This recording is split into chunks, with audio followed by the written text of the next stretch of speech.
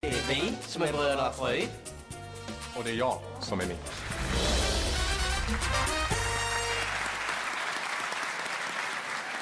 Hej, Hej, hej. vilka är ni? Det är vi som är bröderna Fröjd. Och det är jag som är Mick. Ja, det är det du har på huvudet alltså? Jag förstår. Ja, spännande. Vi ser fram emot det här. Varsågoda. Tack. Jag var ute promenerade i Vikparken igår när jag plötsligt fick syn på några mystiska spår. Inte från en tiger, en ekorre eller korp. Inte heller spår från en bonde från ett torp. Nej, dessa spår var stora, rent enorma må ni tro. I hålet det förstod de fanns det plats för en hel ko. En dinosaurie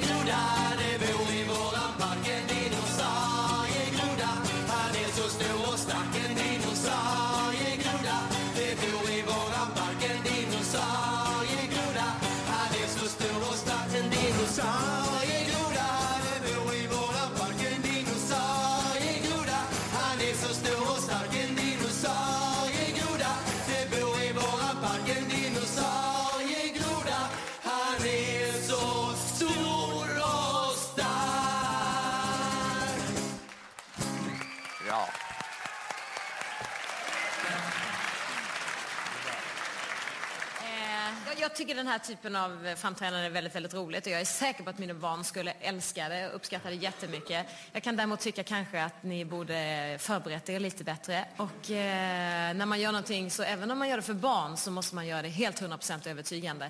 Sen undrar jag, är det här det ni alltid gör eller är det så att ni har fler typer av framträdande? Vi kör en striptease ibland där, Alltså, ni gör det? där Okej. Bröderna Fröjd börjar med full eh, påklädnad och så strippar de ner till kokläder. Okej, Det- okej. Ja, det är i och för sig lite spännande. Men, ja.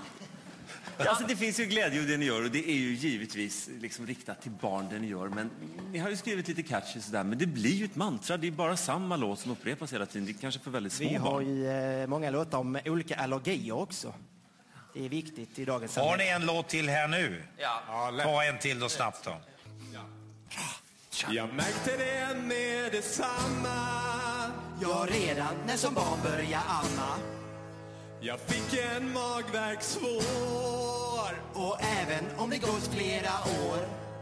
Så uppstår alltid trubbel. I magen uppstår bubbel. När jag dricker mjölkiga drycker. Det bubblar och det trycker. För jag är laktosintolerant Jag är känsligare än en tant Och folk säger jag är en fjant Men han är bara laktosintolerant Det räcker. Den tycker jag. Den tycker jag.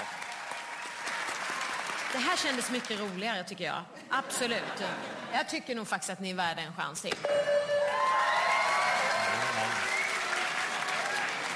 Jag håller med Charlotte att det var roligare, men jag tycker inte det var tillräckligt roligt.